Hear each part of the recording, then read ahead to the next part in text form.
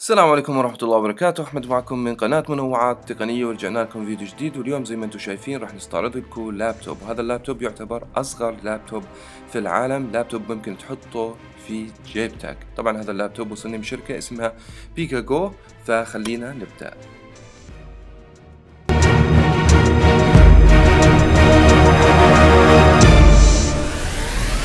طبعا المهتمين بشراء لوحي أو لابتوب من هذا النوع. اللابتوب هذا غير متوفر حاليا للبيع لكن راح ينزل قريبا جدا. في حال توفر معي الروابط راح أضعها في صندوق الوصف.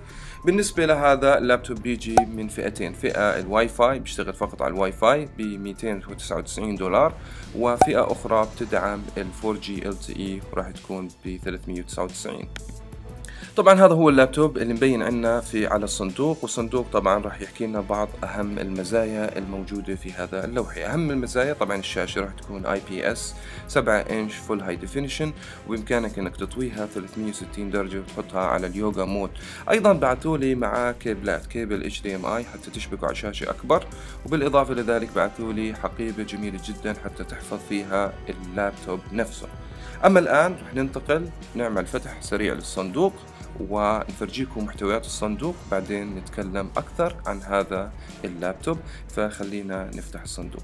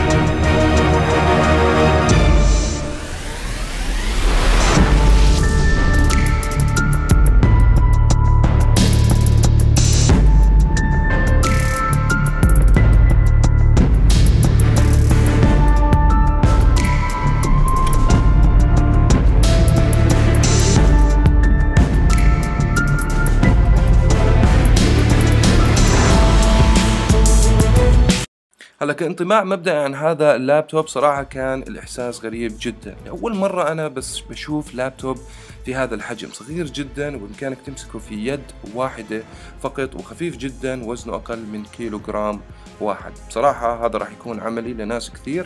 بدهم لابتوب بس ما بدهم إنه اللابتوب يأخذ منهم حجم كبير وبيشتغل على نظام ال Windows. خلينا نقارن هذا اللوحي في جوال على سبيل المثال. معنا ال Samsung Galaxy S8 لو حطيناه جنبه طبعا اللابتوب راح يكون أكبر لكن شوف كم هذا اللابتوب صغير بمقارنة في جوال. يعني بإمكانك تأخذ هذا اللابتوب تحطه في شنطتك وما تشعر إنه أخذ حجم منك أبدا.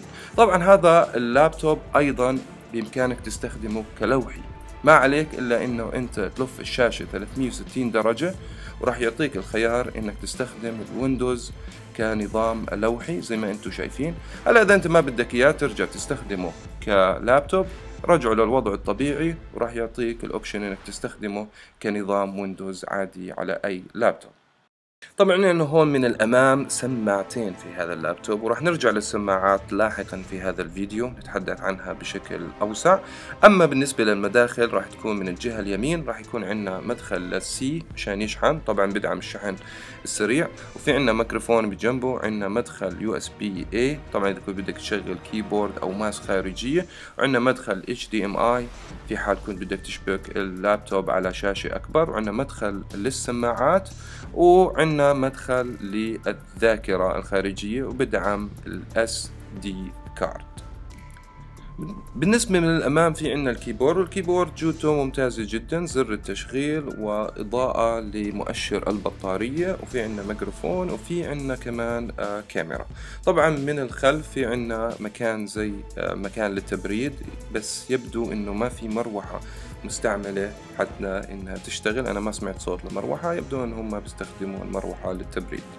طبعا هذا اللابتوب لأنه حجمه صغير جدا ما راح يكون في عندنا trackpad و trackpad راح تأخذ حيز هناك في كبسة خاصة هاي بسموها touch nub طبعا هاي ال touch nub راح تحط اصبعك عليها وتحاول إنك تحرك مؤشر الماوس وتاخذه للمكان اللي بدك إياه. أنا بالنسبة لي واجهت شوية صعوبات فيها يمكن مع الوقت تكون العملية أسهل. وراح يكون عندك من الشمال واليمين كبسات للماوس اللي هن اليمين أو بإمكانك تستخدم التاتش وممكن يكون أسهل لك في التعامل بما إنه هاي الشاشة تدعم اللمس زي ما أنتم شايفين.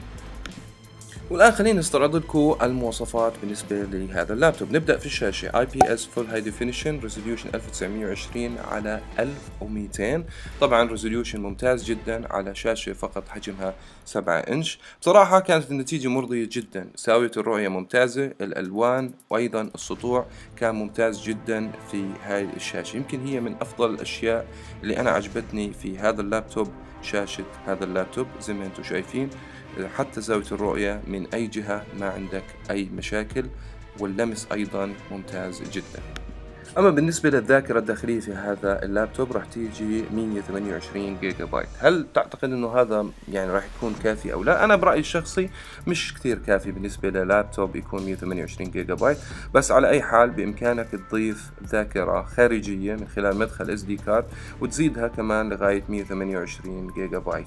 يعني بيعتمد حسب استخدامك لهذا اللابتوب. أما بالنسبة للذاكرة العشوائية راح تيجي 8 جيجا بايت DDR 3 وهي برأيي الشخصي ممتازة جدا وما عندك أي مشاكل. أما بالنسبة للبطارية راح تيجي 4500 بتدعم الشحن السريع. برأيي الشخصي كانت ممتازة جدا. حسب ما بتحكي شركة Peakago إنها بتخدم معك من 4 ل 5 ساعات وأنا استخدمت تقريبا من ساعتين لثلاث ساعات وكان أداء ممتاز. أما بالنسبة لأهم شيء في أي لابتوب أو أي كمبيوتر اللي هو المعالج. عندنا المعالج Intel Atom 1.4 بالنسبة لي حتى ما استخدمت أنا هذا اللابتوب ما كان الأداء ممتاز في هذا اللابتوب للأسف الشديد. هذا بيرجع لاستخدامهم معالج قديم عمره سنتين. أيضا من أحد الأشياء اللي كمان أنا ما عجبتني إنهم ما بيستخدموا ال AC WiFi يعني ما في عندنا تردد ال 5 G بالنسبة للواي فاي وهذا أعطاني أداء سلبي جدا خصوصا بتصفح الإنترنت على هذا اللابتوب. طبعا هذا اللابتوب راح يجي فيه Bluetooth version 4 بشكل عام أنا عجبني البناء لهذا اللابتوب ال keyboard الضغط عليه الشكل ال design كان ممتاز جدا بس عشان أكون أنا منصف. طبعا هلأ راح نعمل لكم بعض الاختبارات. والآن راح نعمل اختبار اللي هو تصفح الإنترنت. زي ما حكيت ال ال هذا اللابتوب ما بيجي معاه ال 5G تردد 5G بالنسبة للواي فاي يعني راح نتوقع الإنترنت ما راح يكون عليه أصلا سريع. على أي حال خلينا نبدأ ونتصفح على الإنترنت. وأول website راح ندخل عليه PhoneArena ونشوف كم وقت راح يأخذ حتى يتصفح هذا الموقع.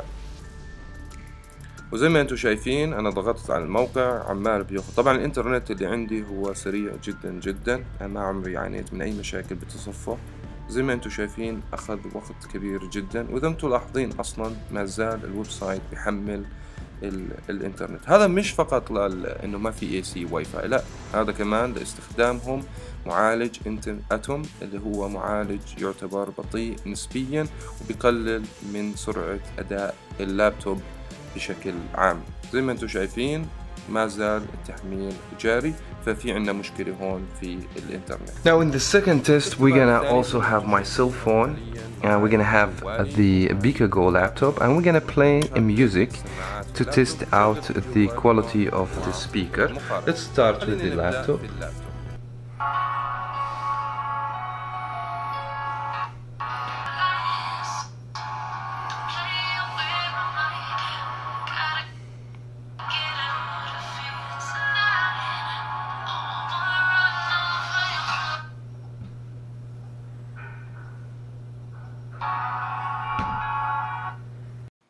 والآن راح أشغل جوالي.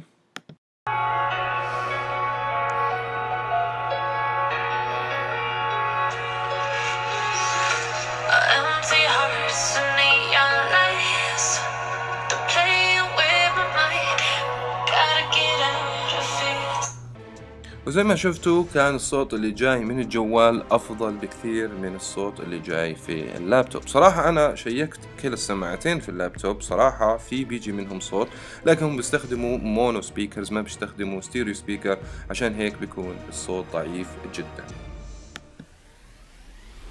طبعا حاولت أختبر هذه الشاشة أشغل فيديوهات بدقة عالية. حطينا 1080 بصراحة كان تقطيع كبير جدا. اضطريت إني أنزل في الدقة ل 720 اشتغل بشكل أحسن لكن للأسف الشديد في ما زال في بعض التقطيعات في الشاشة نفسها. للأسف الشديد هذا كمان بيرجع للمعالج السيء لهذه الشركة استخدمته في هذا اللابتوب. على أي حال هاي كانت فقط مراجعة بشكل عام ونظرة أولى على هذا اللابتوب الصغير اللي هو يعتبر أصغر لابتوب في العالم. آه، برأيي الشخصي هذا اللابتوب مش لكل الناس. ممكن لفئة محددة بدها تقوم بأعمال معينة وما بدها اللابتوب بياخذ منها حجم كبير جدا. كان معكم أحمد من قناة منوعات تقنية. إن شاء الله بنشوفكم فيديو قادم. لا تنسوا الإعجاب والاشتراك في القناة. والسلام عليكم.